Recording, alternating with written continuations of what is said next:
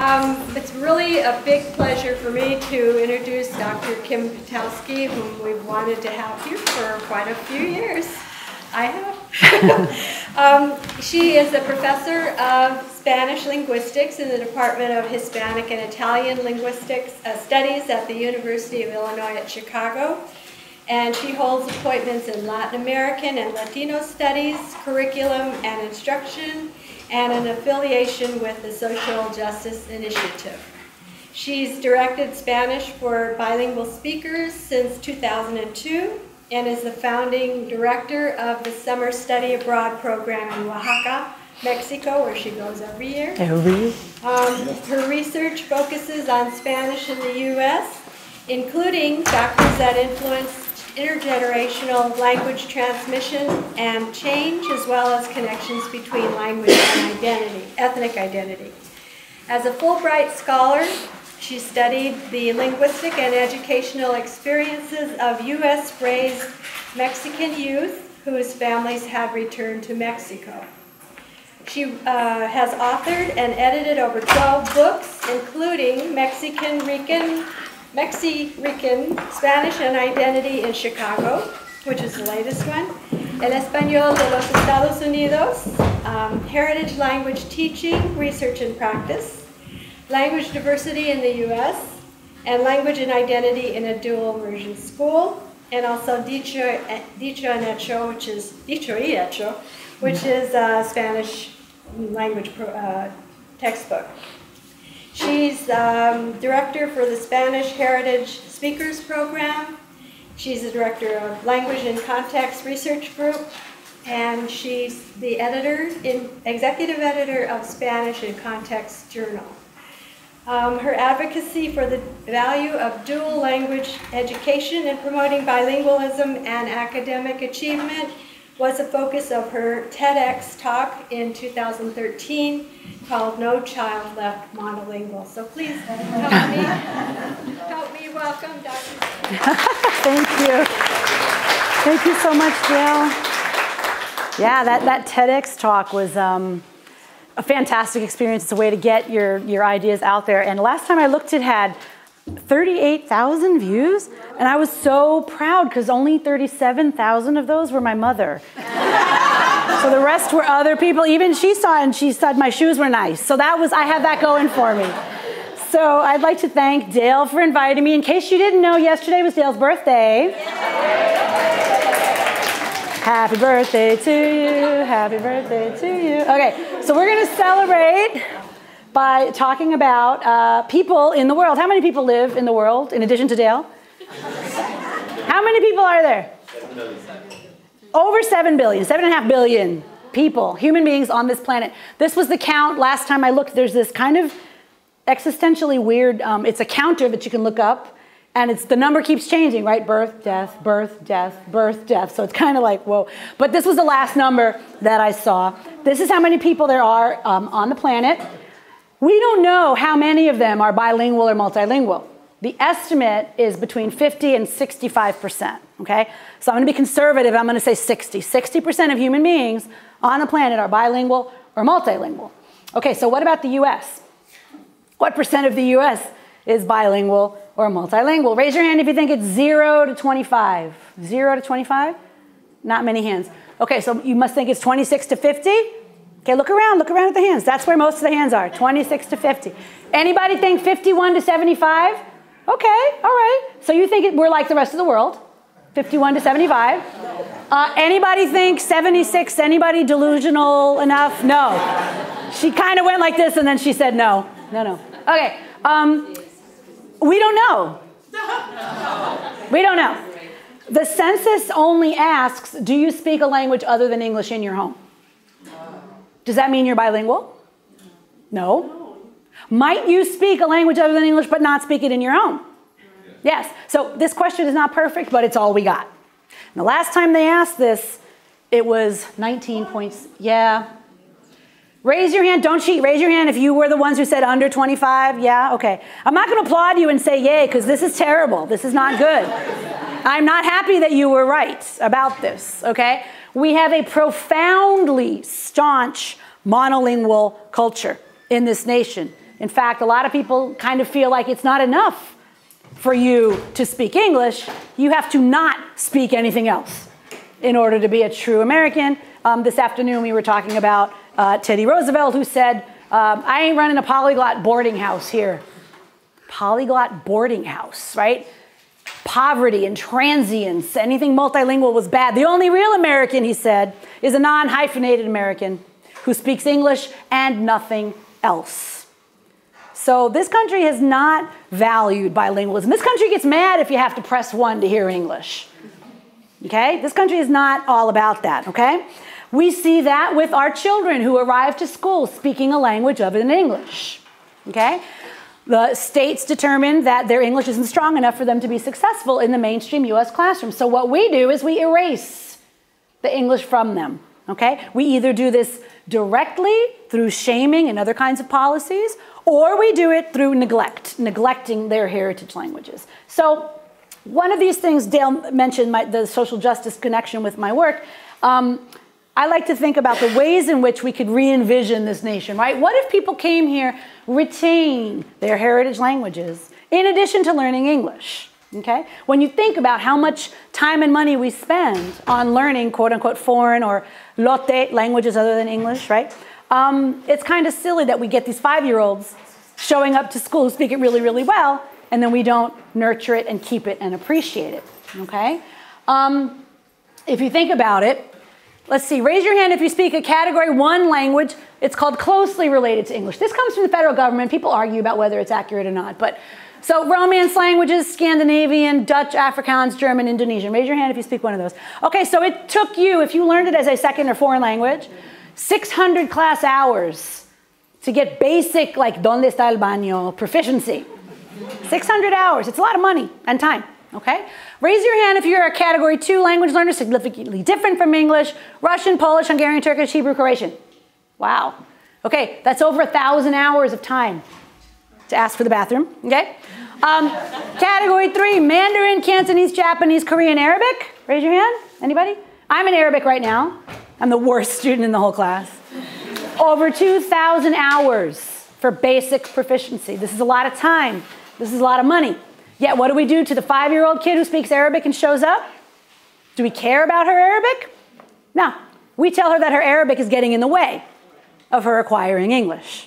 Okay? So, these people who run around saying these immigrants have to learn English, I agree. I don't know anybody who doesn't agree that it would be a good idea to help immigrants, help, not legislate, not shame, but help immigrants learn English. And that's a separate thing we can talk about. How, what's the best way to help them? Okay? But when you say that, I'll, t- I'll tell you what, I want them to learn English too. I'm going to show you some data that suggests that the more you educate these children in their heritage language, the better they will learn English, which is what you say you want, right? Oh, yeah, but no, no, no, no, no, no. No, you can't educate that. No, that's not American. But you just said you wanted them to learn English really, really well. Yes, I do. Then you got to educate them in their Chinese or in their Spanish. No, no, no, can't have that. So it just reveals this staunch ideology that we have here of monolingualism. We also have people some who are very, very well intended, some who should know better, who tell parents, oh, you better not speak Spanish to your kid, you better not speak Greek to your kid, you better not speak X ish to your child. Okay, raise your hand if you've ever heard somebody say this. No, no, no, no hables español con el niño. Don't do it. Okay? These people, I think, fear either that the kid won't learn English as quickly. Okay? We have no evidence of this. In fact, there was a study, I believe it was done in Boston, about 500 families, half of them, the mothers agreed to uh, uh, stop speaking Spanish in the home and shift to English with their kids. You know, quiero que el niño avance, que aprenda el inglés. I'm going to shift to English, even if my English isn't great. And the other half of the mom said, no, nah, en esta casa se habla español. I'm staying in Spanish. They measured the kids' English vocabulary a year later. There was no difference. No difference in the English vocabulary. You know what was different? Spanish vocabulary. The Spanish vocabulary of the kids whose mothers had switched was lower. So you are not helping your kid by not speaking your heritage language to them. And then I think people also give this, again, well intended advice, right? Because they're afraid that the kid's going to become confused.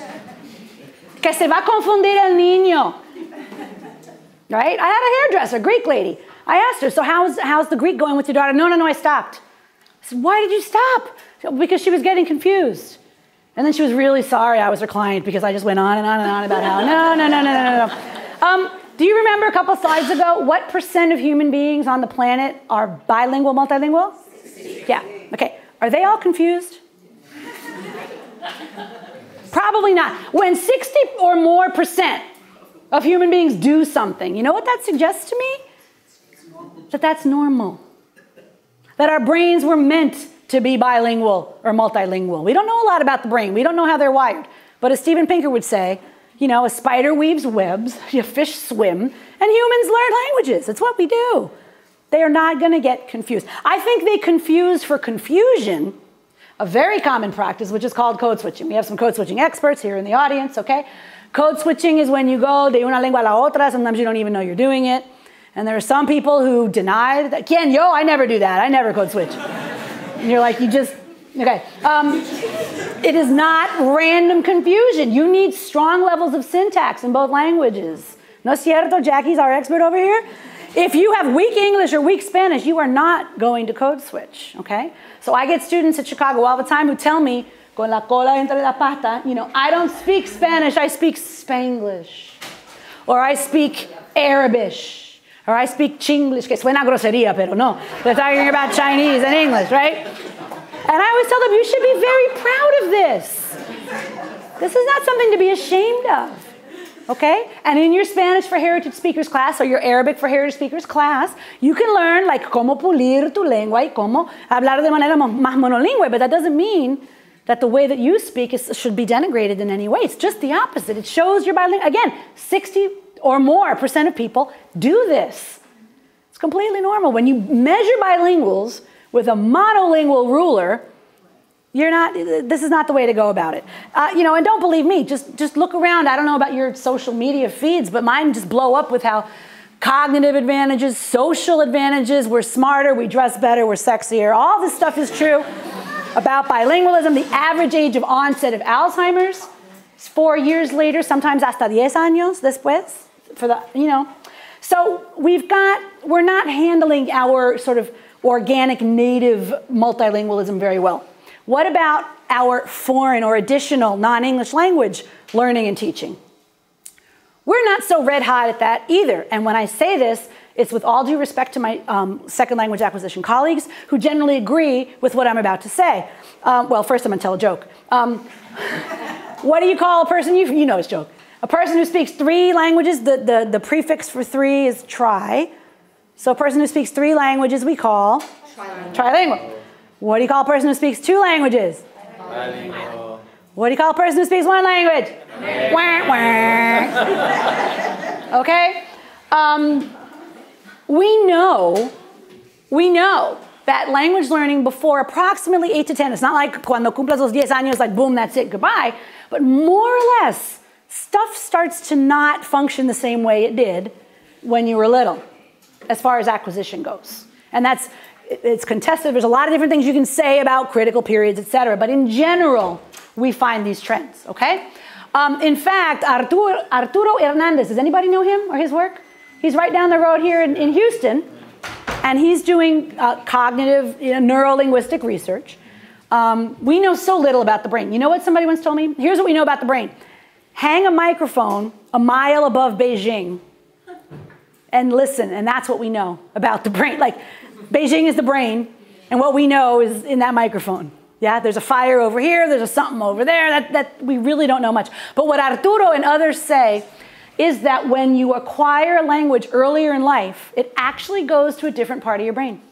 It is stored differently in your brain. And he has termed that organic memory. Okay? So we have years and years and years of top shelf research that shows this. So what did we decide to do as a country here in the US? Knowing that younger is better. When do we start? 14. 14! Is that a really good time to start? Or does that reflect that monolingual, monocultural ideology that we were saying before? If we really wanted to learn languages well, we wouldn't start at 14, would we? Okay? We wouldn't get people who said, I studied three years of Spanish in high school and I don't remember anything. Now, if you are in this position that you studied X number of years of X and you don't remember anything. I'm not wagging my finger at you, and I'm not saying it's your fault.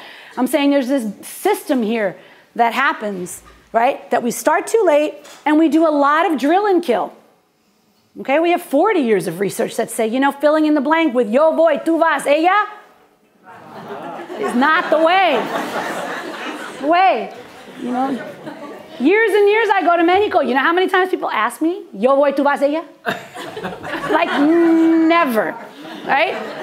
Yet this still happens. Well, I learned Spanish that way. No, you learned Spanish in spite of the fact that you were taught that way. So the two problems I've just presented to you can be summed up like this. Language education in the US, we neglect or actively erase heritage languages from children. When they turn 14, we're like, órale, ahora sí, now you can study a language. And we wasted all those years in between when we could be working on their biliteracy development, okay? And then with our uh, native Anglophone speakers, our monolinguals, okay, we start too late and we frequently focus on grammar, grammar, grammar, grammar, grammar, and rather than real life communication, okay?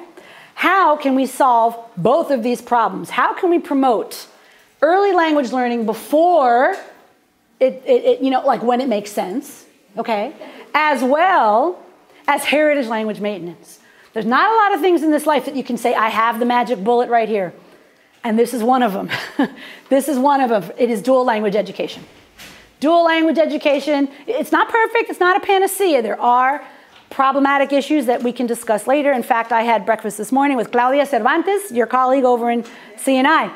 And, and she's, you know, I'm going to give you the 1.0. She's in the 2.0 of dual language. So she can tell you some of the problems involved with it. But I'm just going to cheerlead and tell you the 1.0 parts.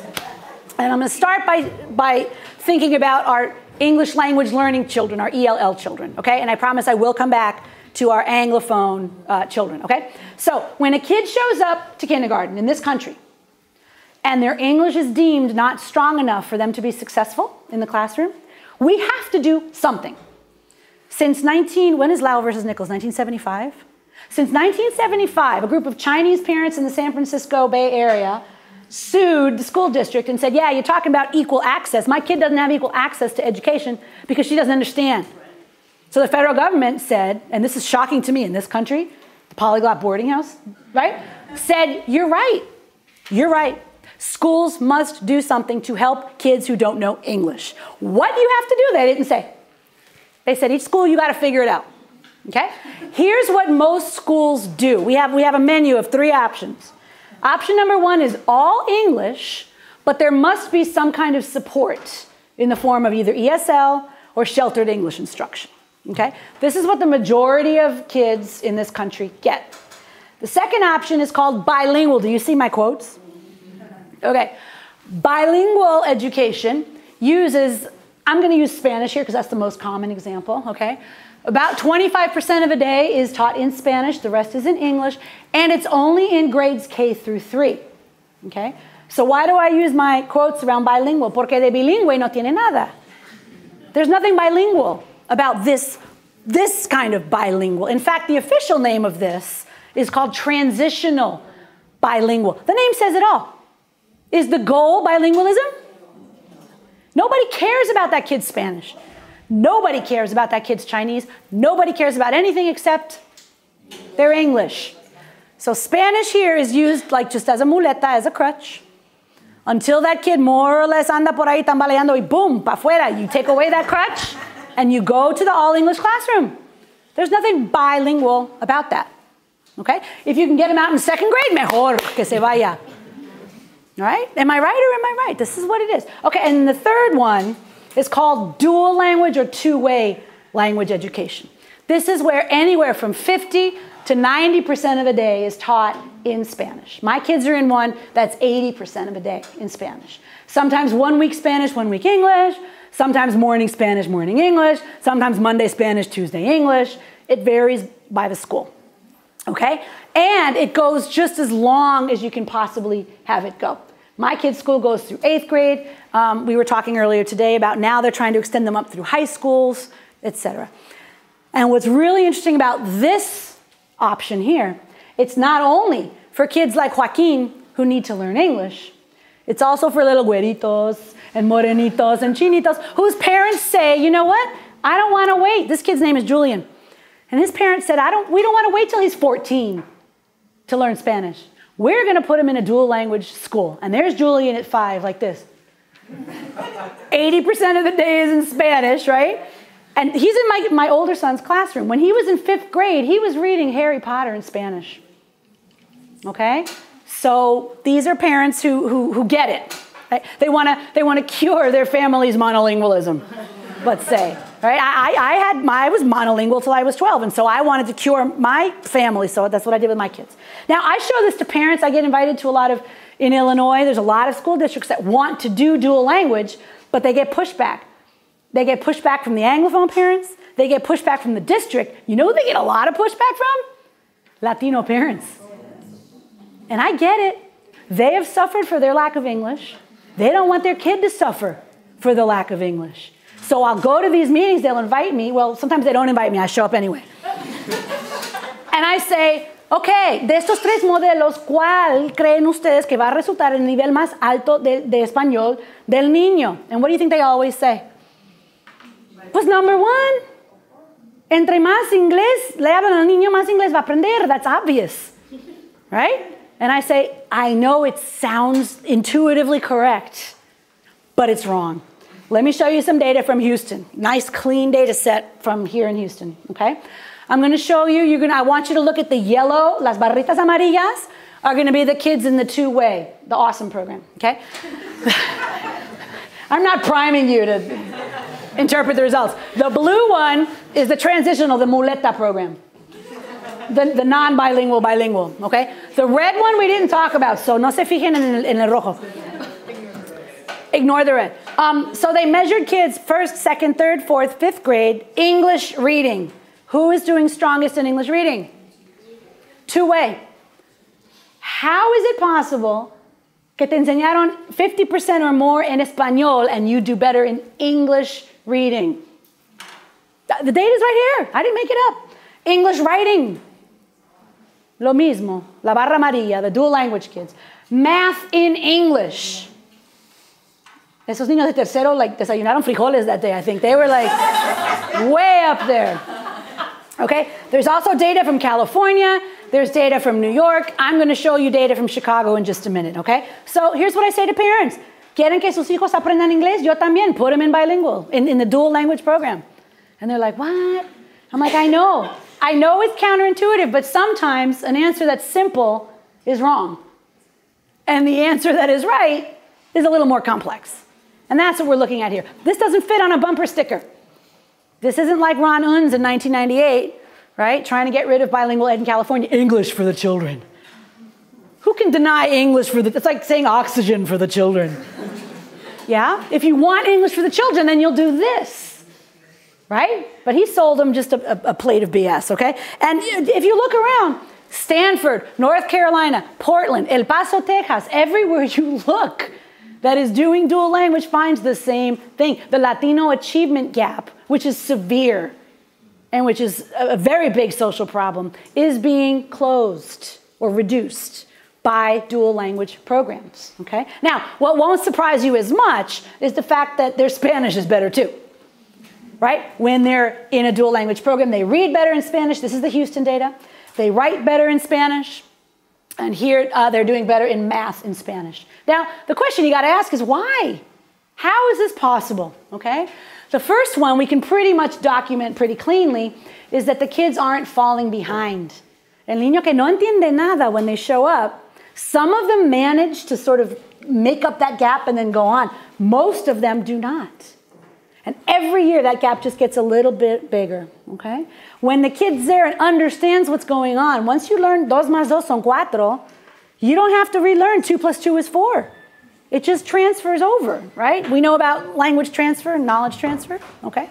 So that is one very, very clearly documentable reason. The next reason I'm going to show you, I have no data for. I have no evidence that what I'm about to show you is true, but I believe it with every fiber of my being. And that's why I'm going to show it to you. The home language and identity of the children are respected. Does that make sense? Spanish is no longer seen as a problem that you have to overcome. You're not shamed because of your Spanish, because of your Spanish. In fact, the little güeritos and morenitos and chinitos, they need your Spanish. They are looking to you like, what did she say? I didn't understand. And then Juanito's like, órale, yo soy el que sabe. Right? You are, does that make sense? You're positioning that child as successful and knowledgeable. And I argue that goes a really long way in their academic achievement as time goes on. Okay? Now, what about the home English speaking children? What do you think the number one question I get from their parents is? Like the Julian, that little kid I showed you, right? His parents are like, yeah, I get this. This is awesome. Let's put him in all Spanish, but we just have one question. Hmm? Is his English going to suffer? I'm all about the Spanish, like that's cool. But if his English is going to suffer, I ain't going to do it. That's the number one question I get. And what we find is that no, not only does their English not suffer, I've seen no case where their English is lower. I have seen cases where their English academic achievement as measured by standardized tests is actually higher. Okay? That's that bilingual advantage that we were talking about earlier. Plus, they learn Spanish. this is what we call in, in linguistics and social sciences a no brainer.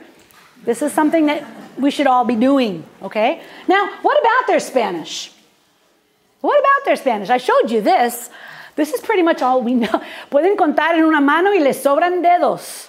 The studies about their Spanish. Why do we have a trillion studies about their English and four studies about their Spanish? Because no one cares about their Spanish. Well, I care. And there are some other people who care. I'm not the only one. So there's a bunch of us out there doing research. We want to look at their Spanish. It's already been proven that their English is fine. Let's look at what's going on with the Spanish. So I've got two studies I'm going to talk to you about today. I'm going to try to finish here in 15 minutes. The first one was a true longitudinal study. I followed a bunch of kids in fifth grade. Pobrecitos, I followed them every day, recording what they said, and on the playground, and then, the, oh my God. Um, and then when they were in eighth grade, I went back so I could actually see their development. And then the other study I did was a different school, also in Chicago, and it was pseudo longitudinal in the sense that I went in once and I did first, third, fifth, and eighth. So the idea is that the eighth graders are future fifth graders who are future versions of the third graders, etc. Right? Salud. So here is study number one. Somebody sent me this picture. This book is in Japan, apparently. And they sent me this picture so that I could say, hey, my book's in Japan. So here are the research questions. How much Spanish are they using? Right? If 80% of a day is supposed to be in Spanish, right? Social studies, fifth grade social studies is supposed to be 100% in Spanish. Is that what's happening? That was my question. Uh, what does their Spanish look like when they graduate? Can you, can you believe we had schools around the country, kindergarten through eighth grade, these kids graduate, cohorts and cohorts, years and years, 25 years of kids graduating from a dual language school. Not one piece of data about what their Spanish looked like. So I was like, all right, let's look at this. And I'm really interested in this. You take a little non Latino kid, the Latino piece is very interesting, and I can talk about that too. But you take a non Latino kid and have them go through a dual language school. What is that?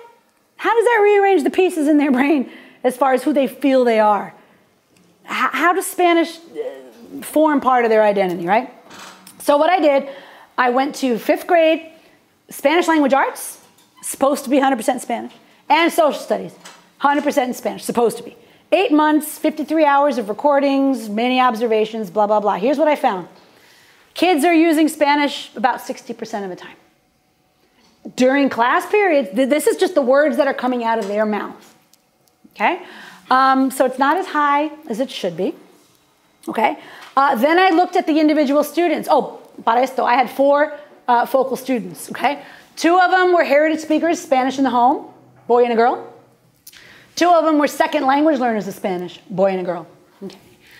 I predicted that the Spanish L1 kids would use more Spanish than the Spanish L2 kids students, right? Is that what I found? Who used more Spanish?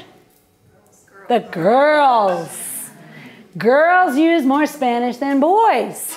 And I ended up finding out that there's other literature showing that at least at this age, 10, 11 year old girls like to follow the rules. Carl can tell us that when they get older, that's not the case anymore, right? But at this age, they want to do what the teacher says and be, they, they derive a positive sense of identity from being rule followers, right? So they were like, en español, por favor. Whereas the boys were like, no, I'm not speaking any Spanish. They didn't get status from Spanish. They got status from talking about boogers and farts um, and using slang that they didn't know in Spanish. But I argue that even if they did know how to say mocos y pedos, it wouldn't have the same, it wouldn't achieve the same interactional goals that they had. See, you're always jockeying for position, not just boys, boys and girls. Girls got their status from following the rules, getting good grades. Spanish was a part of that. Boys got status from being funny. And Spanish was not a part of that. Okay? Um, then I looked at um, by the interlocutor. So when the student speaks to the teacher, 82% Spanish. That made me happy. Okay. Because she's the enforcer, right? She can get you in trouble if you don't use Spanish. With each other, 32% of the time. Right? And it was mostly the girls. En español, por favor. Okay? And then by topic, we were talking about this earlier today, um, I measured whether you were saying something about the academic task, whether you were talking about boogers or farts, which is off task, or whether you were trying to manage the task. What page are we on? If you ask what page are we on, you're not off task, but you're not really doing the task either. So I called that management. And here's what I found. When you're on task, you're using Spanish 68% of the time. Okay? When you're off task, you're in English. when you're talking about movies and boogers and stuff, 83% English. So this supported previous research by Tarone and Swain that immersion classrooms are really very diglossic. Spanish is the H language, curiously enough, and English is the L language used for informal things. Okay? Finally, um, to talk about their proficiency, I used a whole bunch of different measures to look at their different uh, Spanish proficiency. Here was their oral proficiency. I used the LAS. Anybody work with LAS, language assessment scales? It's, it's not too bad. It's the best, the best thing out there, okay? RA is interesting. RA are recent arrivals. These are kids who had come to Chicago from Latin America within the last four years. So they, their English wasn't really, they were kind of Spanish monolinguals, same age as these kids. So I thought it was neat to compare them. What you see is that my heritage speakers are doing pretty well in their oral Spanish. And look at my L2 kids 64%. That's, that's not too shabby for a kid who showed up five years old knowing nothing about Spanish. Okay, so I thought this is pretty nice. I won't have time to read all of these, but here's the L2 girl who was super like en español, por favor. This was huge for her. They heard a story about la jardinera, and then they had to retell the story. Okay? Había una vez una jardinera que se llamaba María Elena Ella le gustaba, so we're missing some direct object marking. Ella le gustaba plantar y jardinar en su jardín. Y, pero eso es, era todo lo que hice. She's got some morphological things, okay? Um, sus amigos dijeron, ¿por qué? ¿Por qué no tienes novio? ¿Por qué nada más um, trabajas con tus plantas en vez de tener una vida con un hombre? Super heteronormative. The story was awful, awful. Oh, and the worst part was que, que, que la vienen a, a, pretender muchos muchachos, and she rechaza a todos, y llega uno que se llama Vicente disfrazado de abuelita. Y le dice la abuelita, tú deberías juntarte con Vicente, que es buen muchacho, que no sé qué, y te quiere mucho. And she's like, yeah, maybe you're right. And then he takes his mask off. And she's like, oh, Vicente. I'd be like, bro, you just know. ¿Me quieres engañar así? No way. But anyway, that's how the story goes. Oh, but she's like, yo te acepto solo si me ayudas en mi jardín. And he said, okay. So she...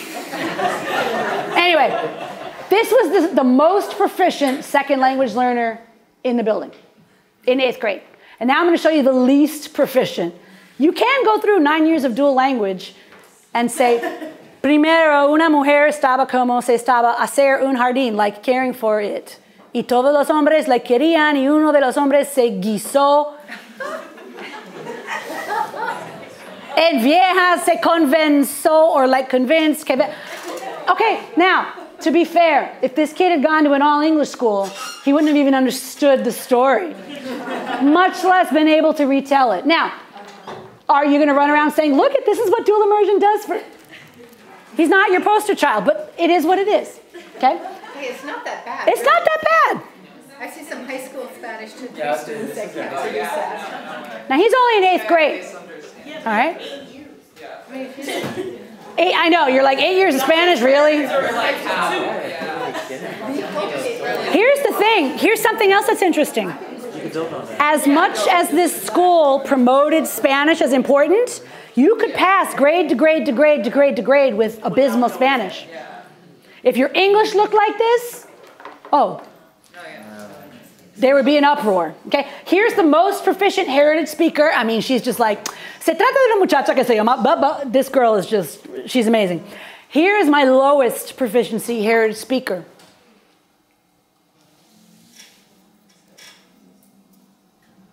So he doesn't have gender agreement and the same morphological problems that the L2 boy did. But what I ask myself is, what would his Spanish look like if he was in an all English program? Right? Okay. Uh, written proficiency, we see something very similar. They're a little bit lower here, but my heritage speakers are strong. My recent arrivals are also. Now you might ask yourself, wait a minute. If these guys are pretty much monolingual in Spanish, shouldn't they be at ceiling? Shouldn't they be at ceiling? Well, this measure measures academic Spanish. That's why your monolinguals are not at ceiling, okay? And we have similar variety. We have the strong L2, the weak heritage, uh, et cetera, et cetera, okay? Then I gave a little test. En la escuela no me gusta que los maestros, I'm going for the subjunctive, right? Mi mamá siempre me pide que, finish it. Um, voy a estar feliz cuando, finish it. Look how much subjunctive use I got from the L2s. Zero. Oh, sorry, one. One kid, one time. Use the subjunctive, kind of, right? My recent arrivals, 100% subjunctive, as we would expect. My heritage speakers, it really varied according to the context. I forget who I was talking to about. It was Patrick. Where's Patrick? We were talking about subjunctive use and, and, and decline. So it really depends on the, on the trigger verb and things like that, okay? Um, I also did a sociolinguistic appropriateness test. I won't have time to talk about it. But so here's my question what would their Spanish look like had they attended an all English school? Because you can't say, oh, this looks so strong and wonderful because they were in dual language. Well, you can say that about the L2 kids, right? Because they wouldn't get Spanish anywhere. But the heritage kids who are speaking Spanish at home, maybe their Spanish looks this good too. Maybe dual language does nothing. I, that's, that's the null hypothesis, right? So I asked myself, that's me, asking myself that question, what would it look like if they were in an all English? Okay? So this is study number two. It's a different building. Why is it a different building? Because the first building, the entire school was dual language.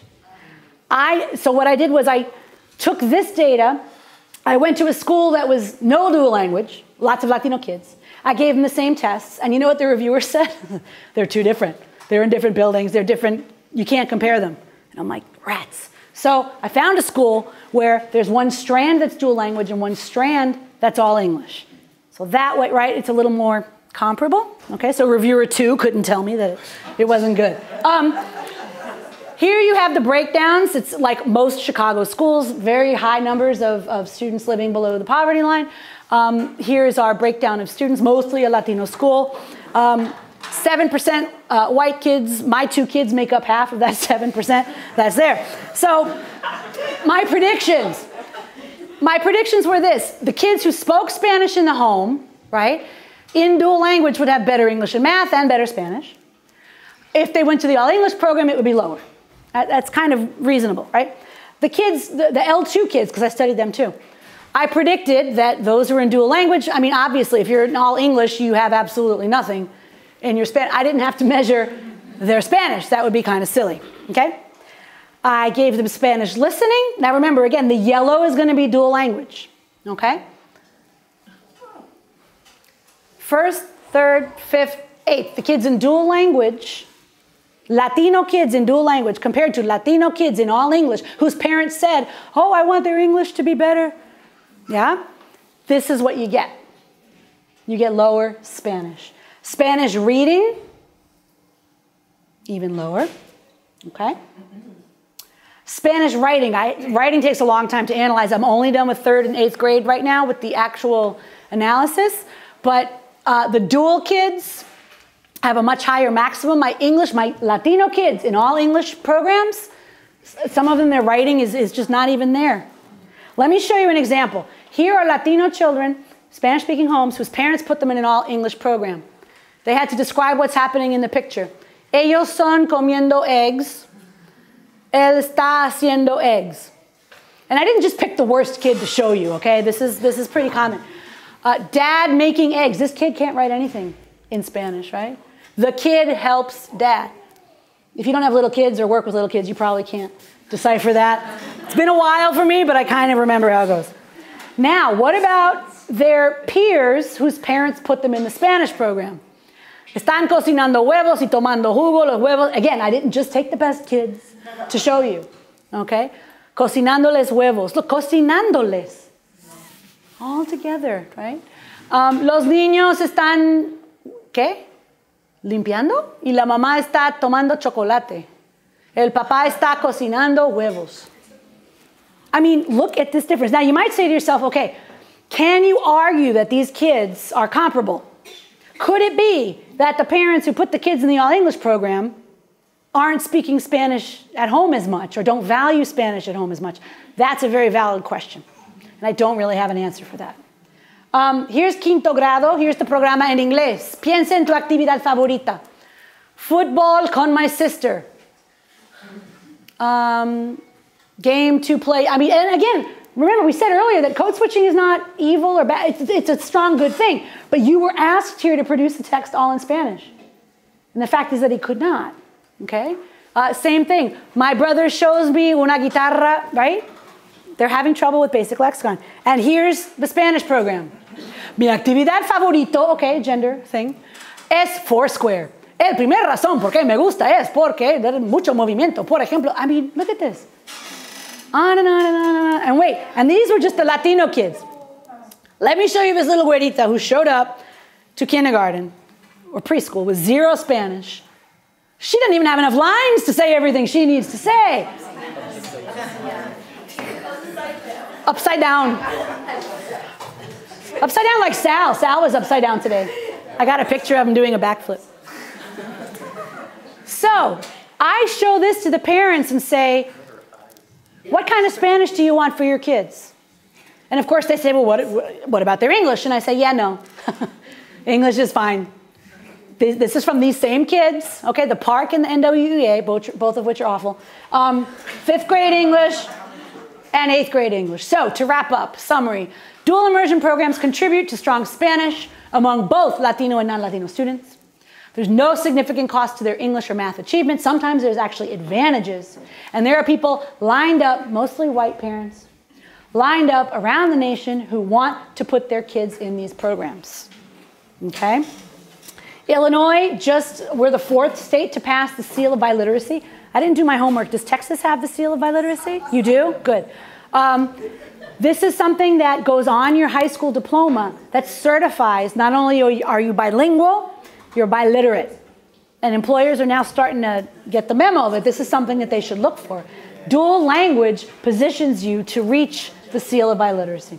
And I'm going to say one final note about bilingual child development because I have had parents come up to me and say, I looked at my second grader and I looked at my friend's second grader, and my son's English was behind her son's English in second grade, and I'm very worried. So I tell them the story of the three little pigs. You know the story of the three little pigs? Que la mamá los bota de casa y el primero sale y de qué hace su casa? De paja. That house goes up quick. This is like ESL. This is the ESL program. All English. Okay? That house goes up quick, but is it strong? Okay. El segundo cerdito, ¿de qué hace la casa? De palos. This is bilingual, entre comillas education. Transitional, thank you. This is transitional bilingual education. It does take a little longer to build the English house. So if you're, if you're a second grade parent and you're looking at your comadre's kid in second grade and you say, ay por Dios, tiene la casa con techo y todo y mi hijo solo tiene paredes. I made a mistake. Voy a sacar a mi hijo de bilingüe and put him in all English. Porque mira al hijo de, de la comadre. Okay? I say, wait, your kid's in second grade. You've got to give them time. And what does the third cerdito do?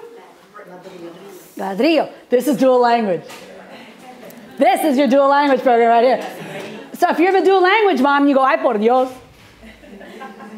Este niño tiene la casa con todo y techo y este niño tiene la casa con paredes. Mi hijo solo tiene la fundación. I made a big mistake. Why did I listen to that lady, that professor? I'm, I'm pulling my kid out immediately. And I say, pero ¿qué pasa cuando viene el lobo? En el lobo aquí, ¿qué representa?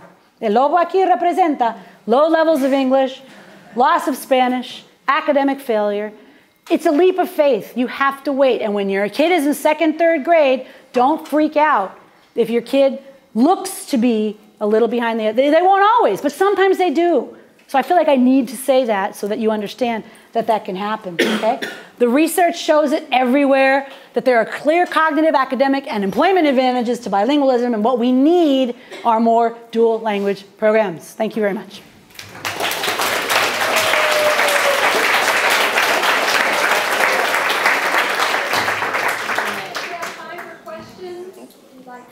Y me pueden hacer like en Facebook si quieren.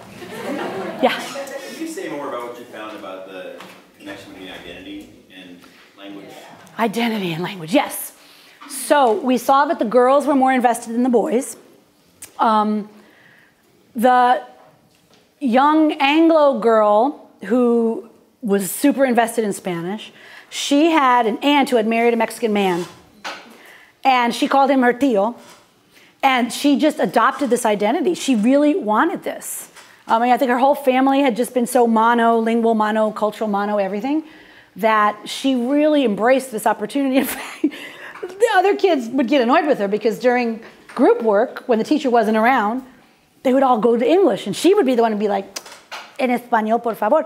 She said to one kid, "That's why we're here, you know. That's why we're here to learn Spanish." This was she wanted a quinceañera this girl, this was about her identity. Now, when you do qualitative research, you can't extrapolate to everybody. Okay, I can just present you the four kids that I saw. Um, the Latino boy that I saw was very funny, and he was much more interested in gaining status through being funny. Spanish was not a part of that. In fact, bragging about how I don't do bus, I don't do homework, I do bus work. He does his homework on the bus. Yeah? So that was just part of his identity. So I guess what I found interesting was that I, I assumed that the Latino kids would have Spanish as a bigger part of their identity, would use it more and appreciate it more. But it was the, it was the occasionally the L2 kids. I think for the very reason that they didn't have it, like fácilmente ahí en casa, that they extended it. When they got to eighth grade, it was a little different. I mean, eighth graders, come on. You know, they're not interested in anything that school's got to, you know, talk about. Um, I know it's not a very complete answer, but it, it, was just the four kids whose identity I looked at. Yeah. And that's why few people do qualitative ethnographic research. It takes so long. And then you got to publish stuff and get tenure. So, you know, I didn't go back to look at more of that. Yeah. But I guess my argument would be all the fun stuff in the building was in English. Gym was in English, music was in English, all the special, specials were in English. Wouldn't it be a good idea to have fun stuff be in Spanish?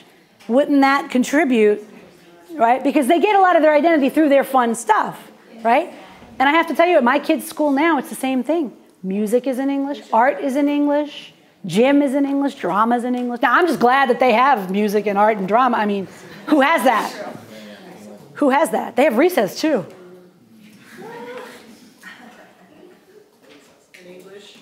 Yeah, reset. Well, it's in whatever they want. I guess whatever they want. Yeah. Yes, in the back.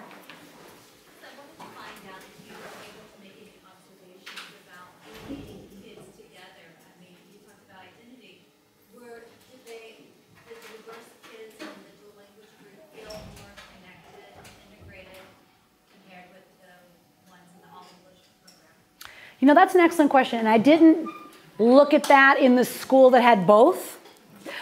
But I can tell you about the school where the whole building was dual, and I can compare it to some other contexts I've heard of. If you're familiar with um, Guadalupe Valdés's piece from 1997, she really cautioned against dual language programs. Um, using Latino kids as input for the second language kids. And so the one thing that Latino kids had right? Uh, suffering, you know, poverty, marginalization, all kinds of things. The one thing that they had was their Spanish. And that dual language program was uh, effectively giving it away to the oppressor so that they could then use it, right? Um, and she told an anecdote of a kid on a playground. I think he was in fifth grade, the little redheaded kid. Do you remember this? And he, he got mad at a little Latino boy, and he's, he's like, Well, the only reason this school exists is because I'm here. You know? And I've seen school districts that only when the white parents get involved will they form the dual. When the white parents demand it, then they form it, and then they go looking for the Latino. So there's, there's icky, icky dynamics that can happen. I can tell you this though. At that particular, and I've also heard of schools, dual language schools, uh, where the dynamics are icky like that between the two groups of students, right? Um, at the school I was at, they, they integrate, they were very, very, very well integrated. They got it. They got the social justice mission of the school. They really did.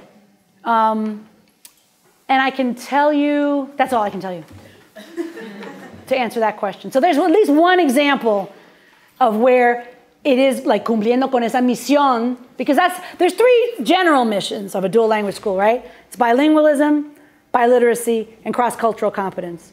Although Claudia and her colleagues are proposing a fourth one, which is a critical language awareness, which I think is very important. Um, so that's a piece of evidence that shows that that, that can be there. Yeah. Yeah. Um, so here in Austin, you know, there's a lot of dual language programs, and a lot of our students come in already bilingual. And um, earlier you mentioned that uh, a proficient bilingual can code switch naturally. And one of the, my question is, you know, a lot of these programs are designed so that the languages are separated. Um, do you think that if the bilingual children already walking in, if they could code switch and trans language like they naturally do in these kinds of programs, that they would maybe have a better sense of positive identity? Because you mentioned that in your study, you didn't think they did. And I'm wondering if, if they were able to do that, then maybe they would have, see their language practices as more valid. Right. Um, they did trans language. A lot of these kids do, they are BFLA, bilingual first language acquisition, so they do show up bilingual. And they absolutely did trans language. And they wouldn't like get in trouble for using English during Spanish time or Spanish during, well, they never use Spanish during English time. Um, they don't. Um, but this is where yo discrepo con Ofelia Garcia y compañía with the whole translanguaging. Like, I get translanguaging, it happens, it's natural, it's, it's there. I feel like, and I'm not sure exactly where, I shouldn't speak for her. I'll just say that Spanish we know is a minoritized language. And if we don't create protected spaces where it is expected, protected spaces where it is expected, English, English creeps in no matter how badly we try to keep it out. If we just say, okay, translanguaging all day for everybody, I don't think their Spanish will develop. Now, your question, that wasn't your question. Your question was, would it be good for their identities to have them translanguage? Well, they already do translanguage. Maybe what you're asking is if it's like more sanctioned. If it's validated in the classroom during academic instruction. Well, it is, I I think what what I observed it is in both schools. If they're participating and saying the right answer, like it's not never a bad thing if they said it in the other language ever. So in that sense, it is valued. So maybe I'm sort of not answering your question, but using it as an excuse to say um, that I think there's great value in having monolingual spaces. Not all day, some of the day. And I don't mean put shock collars on them in case if they use the wrong language, obviously. You know. Well, you know. My kids maybe, but nobody else. Um, there was a yeah, back over there. Did you find that any of the students, like the teachers played a role in the language they prefer? For example, for a teacher that's not, say, following the, the, the model that, you know, 90 50 that the student wanted to be complacent and, and my teacher speaks a lot of English. Yes. I wanted that, did that have an effect in? Absolutely. And this goes back to this other comment. Thank you for talking about things I want to talk about. Um, as I said earlier, some of these schools, they have the model where so the, the same teacher in the morning teaches in English and in the afternoon teaches in Spanish. I'm not a big fan of that. If I'm given my choice, I'm going to prefer that you have one teacher with whom you have a monolingual relationship in English and another teacher with whom you have a monolingual relationship in Spanish, whom you would never, ever dirigirte en inglés. I think that would go a long way because, you yeah, the, te- the, the kids know that the teacher knows English because she teaches half a day in it. So yeah, the kids are a little more, you know, complacent or their identity, whatever the issue might be, they're not forced to use the language. And let's face it, language acquisition is about being forced. It's about need. It's about I must. And if you don't create that must, the minority language won't develop. I think, yeah. So we'll go here and then there. Yeah. Um, I have a question about whether you collected information about their socioeconomic status, um, especially in the school that had both programs. Right. Because in California, the schools that have both programs, it seems that those that choose the dual language have higher. Right. That's an excellent status, point. That could affect their achievement. You're absolutely right. You are right. Um, but this school, uh, you know, those who weren't free or reduced lunch were just maybe a little bit above. Okay. This, this is a very 98% homogenous. In both programs, the dual and the English. No, in the one that the whole building was dual, there was a lot more income variety. You had a lot of wealthy white families because of where the school was located, and you had a lot of wealthier Latino families, third generation Latino families too. But here, Do you think that kind of may have conditioned a little bit of their achievement? I'm not sure. I mean, yeah, it's going to affect the, the building and how things happen and what resources are available, et cetera. But I mean, these kids' Spanish was better because they're recent arrivals and children of immigrants. For sure. Sorry, yeah, go ahead. What about the special ed students or uh, speech students that they struggle with? Would you recommend this dual program for them? Thank you for asking that. Yeah. Thank you for asking that. I, I keep meaning to put a slide in about that. Um, remember, we talked about how 60 or 65% of people on the planet are bilingual? In that 60 to 65%, there are people with learning disabilities, there are people with speech and hearing issues, there are kids of all stripes, people of all stripes. Um, I can recommend a book. It's uh, her last name is Fortune, like fortune cookie. Tara Fortune has a book called something. Y'all know I'm bad with titles. Um, the struggling learner in dual language, or something like that, um, where she talks specifically about um, kids who have um, IEPs, kids who have different types of learning issues, even the case of children who speak a minoritized uh, var- variety of English. So African American speakers of African American English, right, who are encountering not only a new language in Spanish, but also a new dialect in, in mainstream US English. So that might be a good resource for you to check out. But the, the short answer is yes, this, these programs, you have to support those kids, obviously. But yeah, th- those kids can and, and are successful in these programs all the time. See,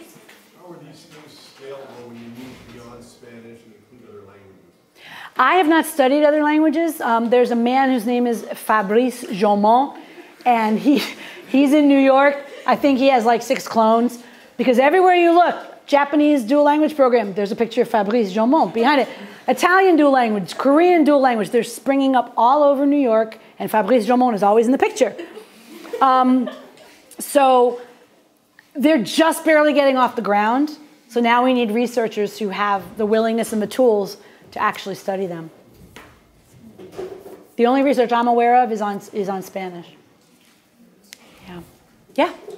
So, um, with like the long-term goal in mind of, uh, dual language education nationally in the US, um, do you think that battle is won sort of, um, legislatively, like on a district-by-district level? Or do you lobby your state legislator? Or what's the best strategy for that, for Right, that's an excellent question.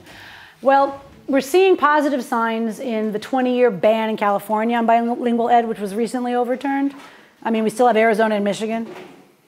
Um, yeah, there's, I guess, a number of different ways.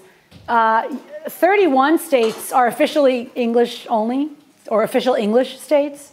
Um, so that's something that you can, you know, try to work against. We tried to work against that in Chicago right before Mayor Daley left office. Um, I'm part of a group called Multilingual Chicago. We wrote up an ordinance that says Chicago is a multilingual city, and he signed it. Now, how do you have a multilingual city in an English only state? Well, we were fighting symbolism with symbolism.